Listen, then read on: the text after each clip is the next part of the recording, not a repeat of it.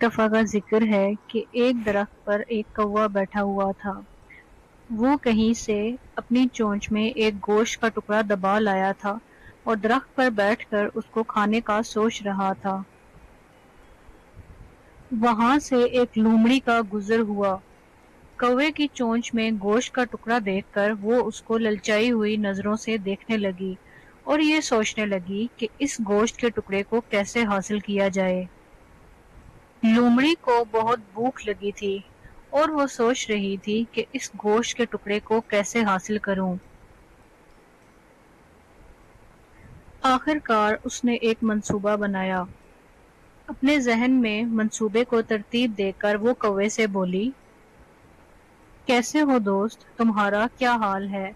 वो चाहती थी कि कौवा कुछ बोले और उसके मुँह से गोश्त का टुकड़ा गिर जाए। लेकिन कौवा कुछ भी ना बोला। लूमड़ी फिर सोचकर बड़ी चालाकी से बोली, कौवे तो बहुत ही प्यारे होते हैं और तुम तो इंतहाई खूबसूरत हो। लेकिन मैंने सुना है कि प्यारे होने के साथ साथ तुम्हारी आवाज़ भी बहुत खूबसूरत है। तो क्या तुम मेरे लिए एक गाना गा सकते हो? कौवा अपनी तारीफ़ सुनकर बहुत खुश हुआ।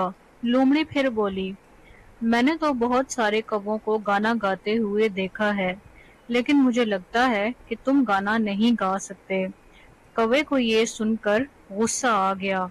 उसने सोचा, क्यों ना मैं गाना गाऊं और इसका मुँह बंद करवा दूँ।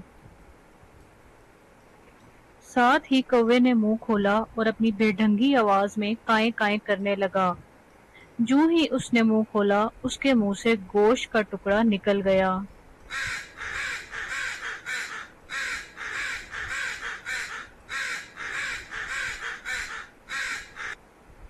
गोश्त का टुकड़ा उसके मुँह से निकल के नीचे गिर गया। लूमड़ी का मकसद पूरा हो चुका था। उसने अफसोस से कवे की तरफ़ देखा और आराम से गोश्त के टुकड़े को साफ़ किया और उसको लेकर चलती बनी। तो प्यारे बच्चों, इस कहानी से हमें ये सबक मिलता है कि खुशामद बुरी बला है। किसी के मुँह से अपनी झूठी तारीफ़ सुनकर खुद को नुकसान नहीं पहुंचाना चाहिए।